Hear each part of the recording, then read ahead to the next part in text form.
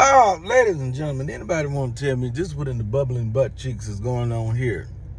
What's happening? Why is it important? What's going like okay? These, these draws with butt pads in them for men. What have we gotten to as a society where where we just gonna put booty cups in a pair of drawers and be like, yeah, this is for the guys. We want y'all to wear.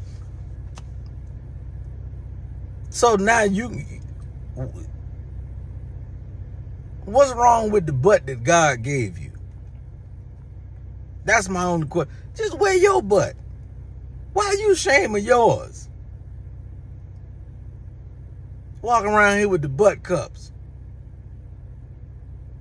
You understand what I'm saying? Like, why are you doing that? Something happens, some type of emergency pop off, and you got to run, and now them butt cups is flipping and flapping all over the place. Huh?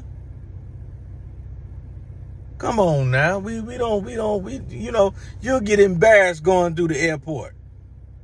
You go through the little scanner thing and they're like, sir, we got to pat you down. You got you got something in your pants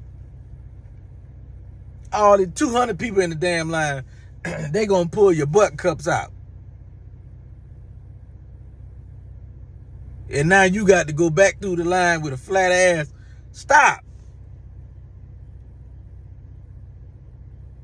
Nah, man, come on, man. We got no.